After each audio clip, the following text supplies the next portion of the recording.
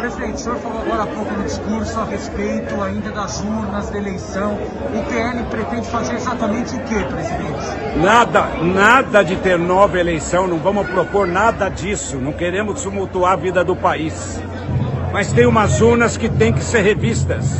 E nós vamos aí propor para o Tribunal Superior Eleitoral, já na, na terça-feira, até terça-feira, essa nossa nova proposta. Pelo estudo que nós fizemos, tem várias urnas que não podem ser consideradas.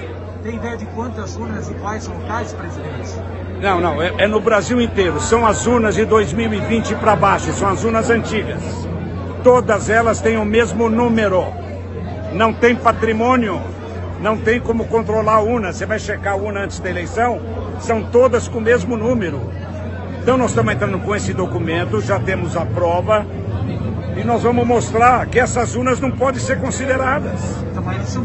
Não podem ser consideradas. Agora vamos ver o que o TSE vai resolver, vai decidir. Nós não queremos propor nova eleição, mas tem que decidir. Mas você já tem noção de qualidade? Como? O fato de ter o mesmo número lá é um indício de Então, veja bem, se elas têm o mesmo número, como que você vai checar a urna antes da eleição?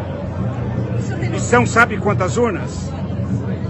Eu, eu, eu, eu não tenho, mas eu, eu acredito que sejam umas 250 mil urnas. Todas as urnas antes do, an- do ano 2020 têm o mesmo número de patrimônio. Não tem como você controlar a urna. Você checa antes da eleição, todas têm o mesmo número. Então nós estamos entrando com isso, eles vão ter que resolver isso aí. Agora, presidente, é, isso não foi visto antes da eleição? Não existe uma vistoria Olha, antes? Isso é culpa dos funcionários do TSE, porque a direção do TSE, ô Marcos, a direção do TSE não tem conhecimento disso também. O pessoal de cima não sabe que existe isso lá embaixo.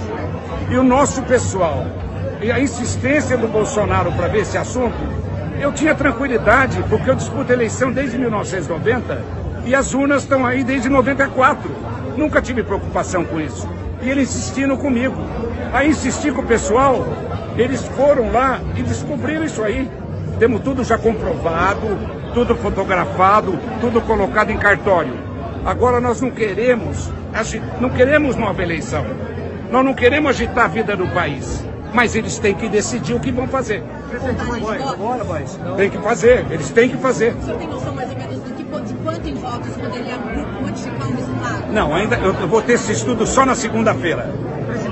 Tem muita gente trabalhando nisso. Na segunda-feira eu vou ter isso aí. mas além disso que o senhor falou, cada urna tem a cerésima e tem o P1. Isso não, não, não, não serve. Essas urnas têm o mesmo número. Não tem como você identificá-las. Então, quer dizer, o TSE, eu tenho certeza que a direção do TSE não tem conhecimento disso. Eles vão ter que resolver o que fazer, é eles que decidem o que fazer. Nós não queremos propor nova eleição, não queremos.